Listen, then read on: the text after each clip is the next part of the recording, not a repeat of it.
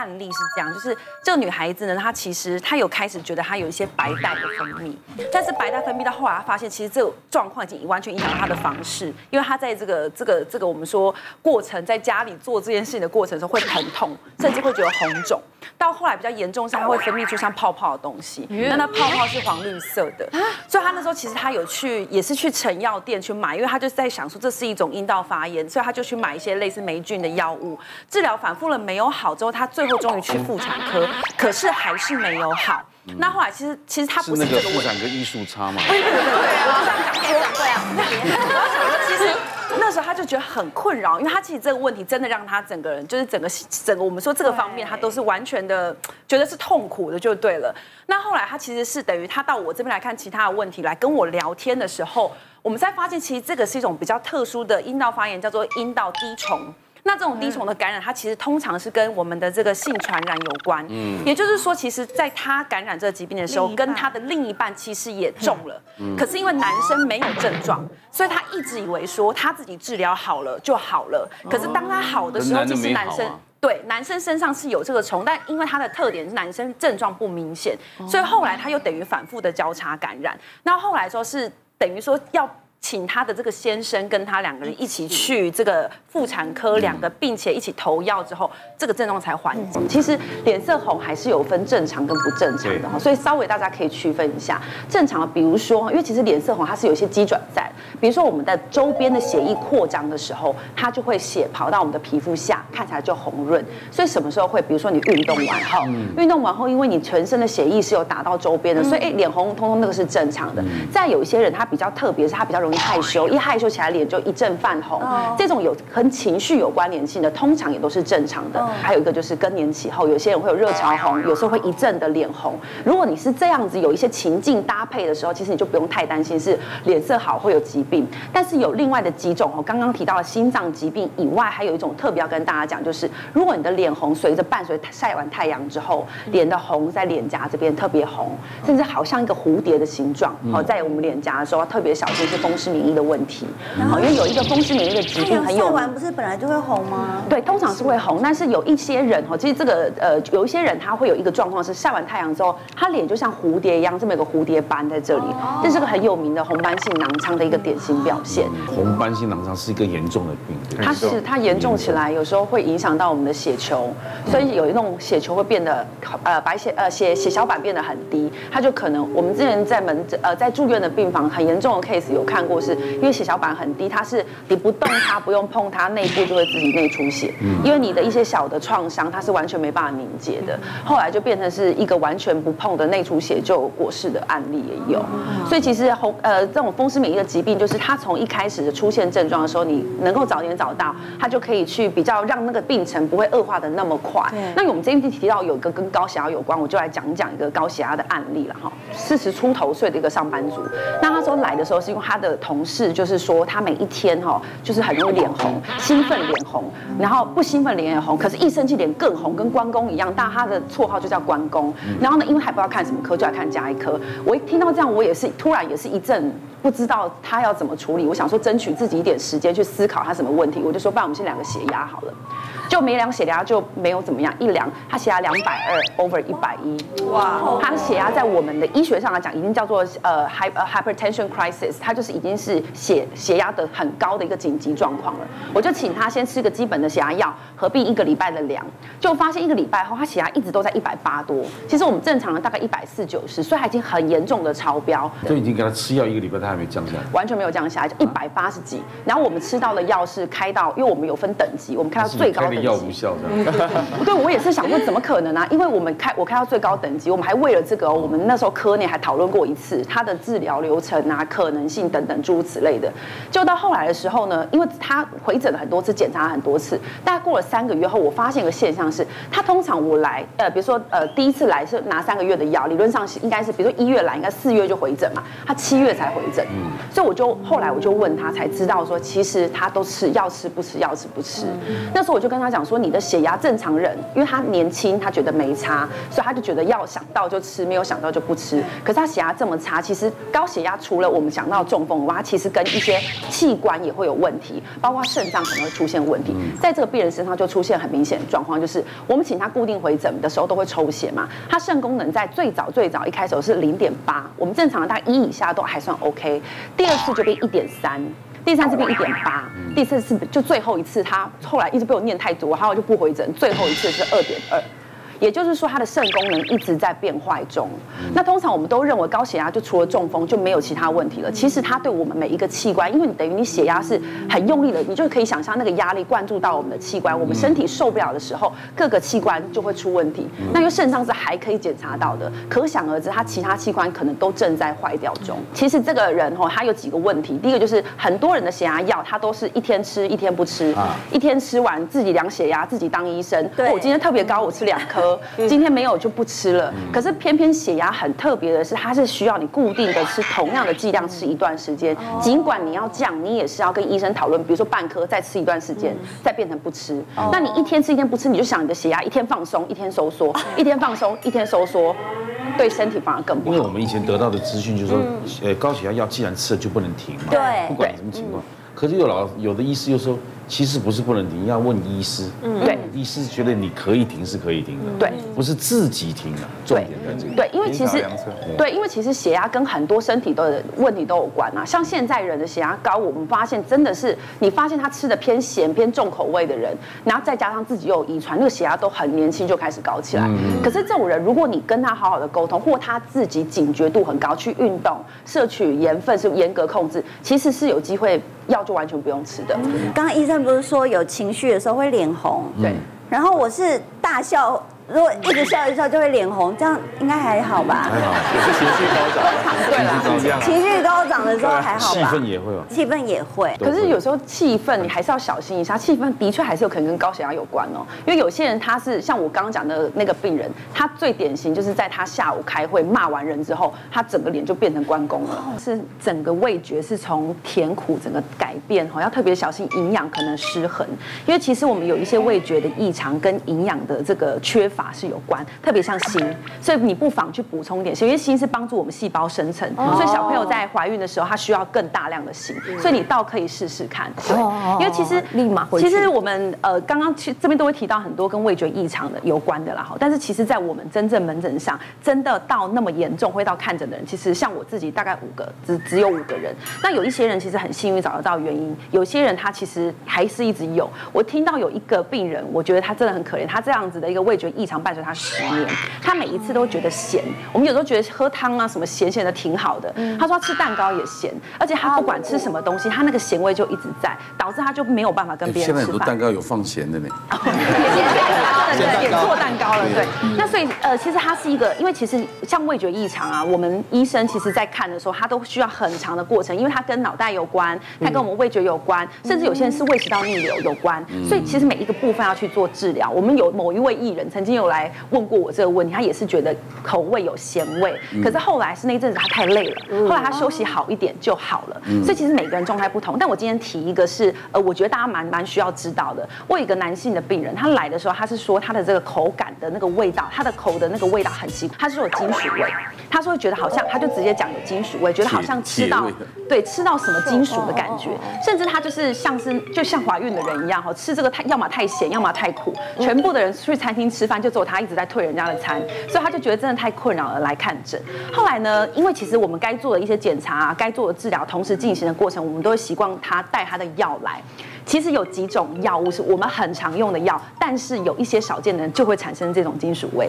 其中有一个药是高血压的药。后来那个人病人一看，哇，他刚好吃这个高血压的药，我想说没关系，不然我们就换药看看。结果很神奇，他一换药之后，症状就没有了。除了血压药以外，有一些特别的抗生素、一些利尿剂，甚至感冒药里头都可能会有这些东西。所以如果你这个金属味是突然来的，然后尤其他前后你自己有在吃一些药物，尤其前一段时间你有印象吃药，不妨。你都把你的药带着，因为其实有些像那个病人运气好的啦，哈，有些找得到原因的，他一换药症状就没了，所以其实大家可以可以参考看看。其实像很多这个女生，呃，算是呃想要怀孕或是月经不顺的时候，往往第一个会看的是妇产科哈。可是其实我们要想一下哈，就所谓的内分泌的问题，它其实全身上下很多器官都是属于内分泌的器官，比如说甲状腺、副甲状腺、肾上腺到我们的卵巢或睾丸，这些其实它都是属于一个性腺的，呃，就是它是呃不对不起，它是一个内分泌的腺体的器官。在我们情绪压力紧张的时候，它可能就会诱发其中一些地方产生问题，又或者是你本身的问题。为什么讲到这个哈？我有一个病人是这样，他三十几岁，他其实并没有真的要去就是不孕，他还没有到不孕，但是他就一直很困扰一个问题是他的月经不顺。就变成有些人会去计划什么时候可以生小孩顺利嘛？她的月经要么就来的很少，要么就是时间拖得很长，要么就是时间浮动。那她也去看过妇产科，好像一直没有找到问题。那因为她也不知道怎么办，她也觉得好像不是什么太大的事，就来找我这样。那个时候是这样。那时候我印象很深，是我看着她，我都没有我在听她讲话，但我一直看她的头皮。为什么呢？因为我觉得好奇怪，她的头皮是可以，她是女孩子，她头皮是直接可以看得到头皮，就是她有头发，头发很长，但是你可以直接看得到她的头皮。我就问说，你是头发比较容易掉，还是你头发本来就是这样？她说，哎，她没有注意，但是好像真的最近头发变比较顺。他就说他头发变比较柔顺，我一听到这个我就是个警觉，后来我就抽了血液检查，最后他出来是甲状腺机能亢进。嗯，为什么呢？其实甲状腺机能亢进，它本身就会造成全身的变化，其中它会让我们的新陈代谢过多，头发反而相对摸起来是柔顺的。哦，然后它所以它在外观上看起来，哎，它也会可能有一点掉发，所以看起来那个头皮就是变头发量明显的减少。后来他开始治疗后，过了一段时间，他就真的觉得他其实不单纯是月经的问题哦，他觉得情绪有比较好，他以前过度的紧张，后来再过了几次的回诊，他就怀孕了。那所以其实我要讲的是说，其实我们说所有的妇科或是各个问题，它可能是牵动一发牵全身，它不一定是妇科的问题，你倒是可以全身性的去搜寻，有机会找到你的问题所在。但是我们大家可以给在场来宾量量看哦，就说其实我们会以为我们看起来体脂肪很少，嗯，可是你有可能是超标的。哎，可以光您量体脂肪吗？瓜哥不想站上去，不想站上去，我们可以帮你先盖住了，好不好？瓜哥，你要赵哥来，赵哥来，赵哥，赵哥。我应该是还可以。你可以，其实通常现在的你就是他们会比较精准一点的时候，他们有时候会要你的年龄呐、你的身高啊，年龄不好说，然后你的性别那。你这个秘密不好说，那就不好聊，你四十五吧。四十九，四十九，四十九。赵哥他的一个内脏脂肪，他的第一格是那个所谓内脏脂肪，嗯，十一点五。好，这到底是好还是不好呢？我们可以看一下这张表格。正常是。我们正常的建议大概是九点五以下，啊，所以其实。赵哥还不错，是因为他的他的肌肉量其实很高，他肌肉到五十几，所以我们正常大概三十到五十都是很棒的范围，所以他是超过，也就他肌肉是很多，他看起来是那种 muscular 那种人，可是偏偏他的体脂肪其实是很高的。哎，还没讲，对对对，听完听完。那如果假设你的体脂肪已经，呃，那这个叫内脏脂肪已经超过十五以上，你一定要非常小心，你就可以想象你的。所有的内脏里头可能都被一层油这样包着。体脂肪是不是所谓什么 B M B M I B M I 是指我们的身高除以体重的一个一个数字算出来的数字，它跟体脂肪没有关。那通常我会通常大家在量这种机器的时候，都会只看脂体脂肪。我们现在讲这叫内脏脂肪哦，内脏。所以你其实可以稍微看一下，如果它有还可以测内脏脂肪，那更好，因为它代表它可以把你的内脏脂肪跟你的脂肪稍微的看一下，估一下你的一个数值。那像小贤就根本没有内脏脂肪了。小贤可以验验验看。你已经都练成这样，你根本没有内脏脂肪。通常在运动的人，他的一个体呃，这个内脏脂肪可能就会再更低一点。B M I 应该是 B M I 十九，十九点算算很好啊。内脏脂肪是一个，有个叫体脂肪，体脂肪女生的范围是比较宽松一点，二十到二十五都是 O K 的。男生会大概减五，所以内脏男生的体脂肪大概是十三到十三到十八这个范围是比较好。他才三呢。对。小像小贤的内脏脂肪只有三呢，哇！你到底还有没有内脏？有，就没有粉干而已。他都练成这样子。但我我建议哦，女孩子的这个体脂肪不要太低太低，就像我刚刚提到的，因为女生有一些这个妇科器官在里头，哦，所以假设你的脂肪还是要有一点点把它包覆住，它才不会因为一些碰撞或者是一些这个一些这个一些状态下，反而会让你的这个脂肪是呃你的的组织是没有被保护的一个。这样三会不会太低？可以。哎，对，会会低一点，那那我要低一些。吃就好了啦，其实 OK 啦，对对是啊，你这样很好啊。对，因为你就稍微很厉害吃饭就好了。多叫我赵哥陪。对，OK 的，酒啊，还好，还好，还有那还好。来，谢谢小贤，谢谢了你，谢谢。这一题要讲的是心血管哈，其实我最常见的是门诊病人问我，因为我们常常会抽三高嘛，哈，什么血糖、血血脂肪，很多人都会跟我说啊，心血管后来到底会怎样？很多人其实他对心血管未来除了心肌梗塞跟中风以外，你没有任何的概念。那我今天就分享一个算是我自己看到一个病人他悔不当初的例子给你们听啊，就是那时候我在住院医师的阶段的时候，我们就是有一个是糖尿病加老人病房，就是顾名思义，你是糖尿病有并发症加有老人是年纪大的人就住在那个病房里。当时我印象很深是那个病人他那一次已经住了大概一个多月了哈，他就跟我说他回复他的回忆他的当年，他说他其实以前就是吃东西都是什么都吃，反正没怕，就是年轻嘛。然后在很年轻就诊断糖尿病，他也觉得没有差，因为不痛不痒，糖尿病就是不不痛不痒，未来心血管的问题而已。好，那他就他就就这样也没怎么样。那是要因为他本来就有抽烟，那他也都觉得很 OK，然后常常会参加一些聚会嘛。他记得他在四十多岁的时候，他就开始出现一个症状，是他们都有一群人一起去爬山，那时候还年轻，大家去爬山的时候一起一开始都 OK，他后来发现爬到一半，他脚就非常痛，是痛到没有办法走，后来就不参加爬山的聚会了，他就开始参加社区的聚会，然后参加社区的聚会的时候，走到那边，后来也是痛到不行，最后他每天就待在家里，就闷在家里。那因为他现在没事做，就一直抽烟。结果你就想嘛，糖尿病，然后一直没有在运动，然后在家抽烟，最后他非常快的在大概五十几岁开始，他就陆陆续续的进医院，因为肺炎，因为抽烟会造成肺部的问题，肺炎。那他那次住院是为什么呢？其实他已在四十几岁，如果大家有记得我说爬山的时候他脚会痛，其实它是一个指标，它是一种我们的下肢的动脉塞住的一个指标，所以他那时候其实就有这个表现，但是时间延了很久，他都不一定会需要治疗，他等到已经受不了不行的时候才去住院。那他最麻烦的是他那时候去装支架，可是糖尿病又会造成他的那个血管愈合不好，所以他就是装完之后那个伤口一直都是烂的，他就只能一直住在医院。所以其实这个东西我们自己在门诊上或者在住院的地方，你才看得到。当你一直没有控制，未来会长那个样子。它不单纯只是中风啊、心血管疾病，它其实我们全身的血管都可能会影响到。我有一次有一个病人来，这个这个人是个很年轻的男生，高高大大的，看起来就是有在运动的人。他就来，他就说：“哎，医生，我足底筋膜炎这一段就这段时间突然发作足底筋膜炎，可是因为一直治疗不好，那他跟朋友聊，朋友跟他说，你会不会是痛风发作？所以他想来医院抽血检查一下自己的痛风指数。那在过程中，我就先问他一些基本说：哎，你足底筋膜炎是怎么样的状态啊？持续多久的时间？他说他这个大概是一个礼拜前开始有的，然后他那那个痛法是这样，因为他都是他是篮球员，所以他每次都还是得去运动。可是他每次一打完篮球之后，他那个痛就会非常的严重，他的痛是一整片像是被烧过的感觉，就像是。火呃，你的脚底板有，他是这样叙述，很像有东西在烧，而且是刺成像一好几根针在扎。我这样听的时候，我就觉得哎，有一点不太对劲。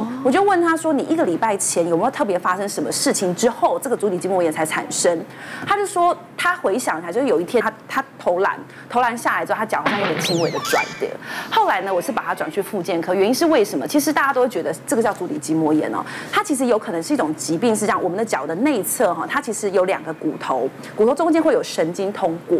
他当时在拽点的时候，其实这个韧带是有受伤的。当韧带受伤之后，因为它发炎，刺激压迫到了这个神经，所以造成他的脚的下方就会产生一些像是神经刺痛的状态。所以他后来其实要治疗的不是足底，而是他的脚踝的扭伤的问题。哦所以其实哎，对，所以所以他后来他就很后悔，因为他其实在这礼拜内，因为有有朋友跟他介绍足底筋膜的鞋子，一双五千多块，他已经买了，他穿的一点效都没有。他就说早知道这样，他就是先把他的脚踝扭伤处理好。所以我的意思是说，其实很多人会觉得痛在那个位置，就应该是这边的问题。有时候你不妨去找个复健科哈，或者是找个医生，或者是找个这个复健师去讨论一下。有时候他可能。源头是在更上面的地方，对，脚比较萎缩的时候，它可能会造成的一些呃，脚比较细的时候，它可能会造平衡感不好哈。这个东西我们都在讲说，我们现在啊，其实，在太空人他们身上对这个东西其实也是有研究。嗯。他们发现说，当太空人哦，因为你你看那种那个电视哈，现在很多电影都在演在太空，你会发现他们很喜欢在里头跑跑步机或运动，这是为什么哈？不是说他们真的一定要很强壮，他们有研究发现说，当一个长途飞行的时候，在过程中可能因为失去。重力的关系，一趟长途飞行平均啦哈，小腿的肌肉会萎缩五十 percent。所以换言之，假设你今天一趟很长途的旅行，一个三十岁青壮年是非常强壮有肌肉，他到那边去回来可能变八十岁的体态。所以他们是有要求说，其实，在飞行的过程中，还是会要这些这个太空人同时做一些运动而。且他的饮食本来就没有地面上那么营养。是，而且再加上，所以所以你看哦，我们这个这个想法是在太空，我们要把它换到一般人哈，回到地球上哈，回到地球上，你会发现很多的阿公阿嬷，他常常因为中风或什么什么等原因之后开始躺床，嗯，这时候他的脚其实就等于他是没有重力在压迫，对也就是他的脚会开始萎缩。所以啊，之前因为因为以前太空人可能上去一天啊三五天那样，现在可能一待待三个月半年。对所以很多太空人当时不知道要运动，结果回来，他是整个人被扛出去的，因为所有都萎缩了。对就好像一个躺病躺了植物人躺了一年了。对。他因为都没有运动嘛，所以他整个是没有重力的情况之下你的肌肉会慢慢萎缩掉。对，等一下，因为那个我们之前胸腔内科都专门在收这种感染性，尤其是肺结核，其实他们都会在一个所谓的隔离病房。那其实我们进去都一定带那种全副武装，但是呢，我们那个医生很很可爱，他每次都戴，哎，这个算不好的示范，他都戴补波口罩。他说为什么？他说其实因为肺结核，如果你家人有肺结核，你不要都弄异样眼光看他，通常你待的时间要够久，你才有机会被传染。所以他他是自己是说，呃，大概你至少要待四到六个小时以上，就说等于你是一个算是照顾他的主要看护者那种人，你一定要去检测。可是其他如果你只是说，哎，这个人生病了，你来探望他，你只要做好防护措施，基本上不用那么担心啦哈。我之前就有一个三十几接近四十岁的女生，她来看诊的时候，她其实最主要的主诉就是夜间盗汗，她可能那时候其实网络已经开始很很很发达。她自己上网查，她的第一个想法也都是那个所谓的淋巴癌或者是一些肿肿块的问题，所以她就一直要诱导我往那边走，因为他就说他体重减轻啦，他这个呃这个真真的有夜间盗汗。那呢呃当时的时候，他就有提到一个点是说，他白天清晨的时候，他都会稍微咳个一两声，嗯，我们就还是该该做检查去检查，所以 X 光一定会照。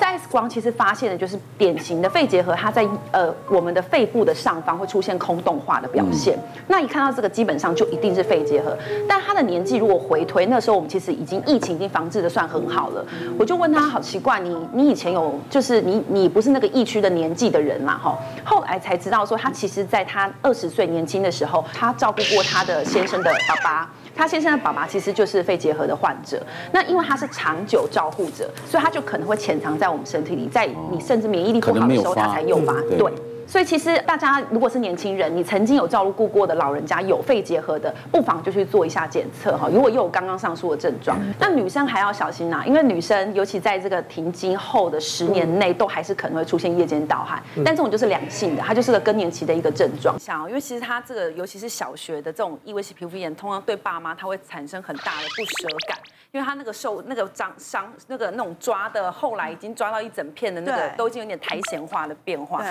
所以我们现但其实有一个很旧的疗法，呃，一九九一年其实就出来了，可是其实它并没有广泛被推广，但是还不错。所以我们医院有一位医生，他就专门在实行这个叫做湿敷疗法。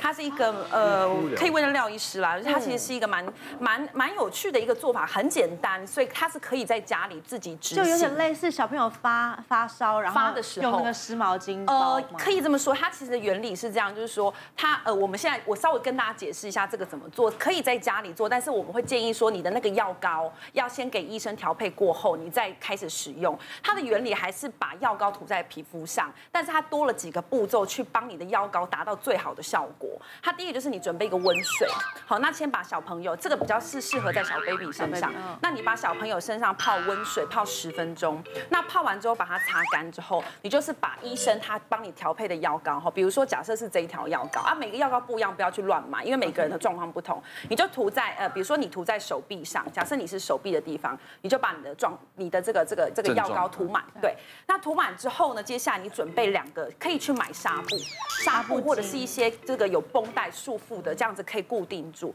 那你先准备一个比较大的纱布，那把刚刚的温水呢，你就先泡进去，好，泡进去之后呢，你把它拧干，让它有一点湿湿、一点点潮湿的成分在里头。那呢，接下来呢，你把这一块这个这一块纱布呢盖在你小朋友本来的这个刚刚涂抹的这个药膏上。你就把它包起来。好，它有点像是我们如果有去医院换过药，会有印象，这个是有那种湿湿的敷，让它这个地方有一层。第二层呢，你再准备刚刚的纱布是干的，那你就让它两层，一层湿一层干。它的原理是这样，就是说，其实我们很多异位性皮肤炎，它它有它的这个药膏的作用，会因为小朋友涂涂抹抹的关系，所以呢，它可能会这个药效会减少。那第二个的时候，就是我们其实会一直暴露在外面的这个过敏源。那尤其是有一些这个类似像这个样子哈，那尤其是有一些这个小朋友，他其实你你你这个这个伤口一直是开着的，所以更多的过敏源进去，你就更容易再度的感染。所以它有两个作用，第一个就是它是一种物理性的屏障。那第二个是因为它在这样包的时候，其实你自己会感觉到里面比较凉，它会让你的血管收缩，会让发炎反应下降，所以小朋友就会这个痒的情况它就会缓解。所以其实像那一个那一位医生，他其实真的就是这样的治疗。大概有九成的小朋友，最后他的这个皮肤会回到本来白白嫩嫩的情况。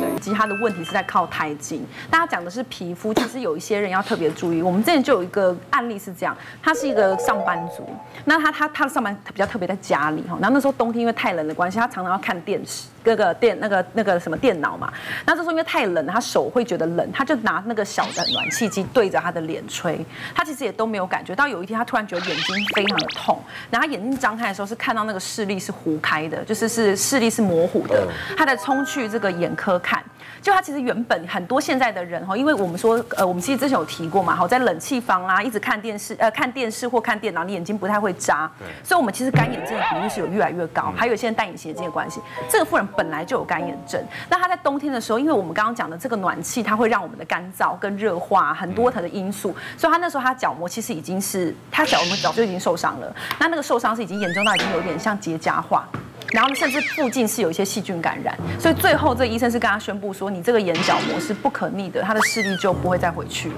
所以其实我们要特别小心，说其实还是会建议说，如果你有这个这个放这样子的一个一个一个暖气机的话，你那个距离一定要抓准，你不要说哦，想说放在里面比较有效率，有没有？就立刻就可以就可以就可以温暖了。其实这样是非常危险的。刚刚有没有医学进步到真的可以机器进去把那肝旁边的脂肪？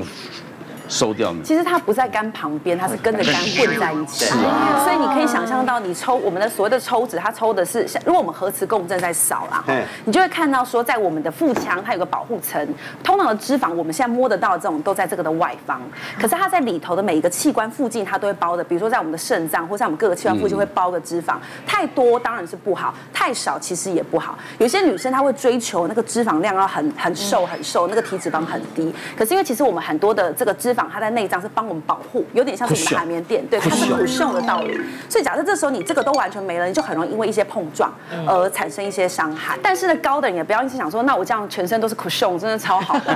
哎，其实高像刚刚那个张医师有提到说，这个脂肪肝最后可能会引发肝硬化，嗯，但是有可能会引发肝癌。嗯，我们的呃有一次我印象很深，我们那时候还是在住院医师的阶段了哈。有一次我们的主治医师，因为我们住院医师都跟着一个主治医师学病人，那时候有个有一个病人。他就被诊断肝癌，那那时候这个医生就跟我们讲说，我们回去做个功课，去找找看他肝癌的原因。通常我们的肝癌哈会发生的可能性最高比例的，比如说 B 肝、C 肝，好，有些人是有这个呃有所谓的黄曲毒素的中毒，或是抽烟饮酒等等可能性。哎，他完全没有，他是个生活作息很健康的人。我们那时候就很苦恼，说死了，我们根本没办法，我不知道怎么跟那个主治医师报告的时候，那一天在讲的时候，这个主治医师他就带了一大堆说这个病人以前的健检报告，他健检报告里头呢，大概就两个，一个就是他本来一直都是有脂肪肝，他每一次抽血，我们有一个叫肝肝的这个发炎指数，就是 GOT、GPT，他永远都超过六十。他说这个是种特殊的疾病，然后他这个慢性已经很久的现象，他叫做非酒精性肝炎。好，我们发现说其实呃通常的脂肪肝，它会有一点轻微的发炎，可能稍微比我们这样子高一点，但如果它高超过两倍以上的时候，它其实就有可能是所谓的非酒精性肝炎。嗯，它除了会肝硬化以外，它有很低的比例，但是有就是会造成肝癌的风险。哇这个也没有药可以吃，就是真的只有少吃油跟运动。对，其实运动就是个很很很很好，而且可以帮我们消除内脏脂肪很好的方法。别忘了订阅我们 YouTube 频道，并按下铃铛收看我们的影片。想要看更多精彩内容吗？可以点选旁边的影片哦。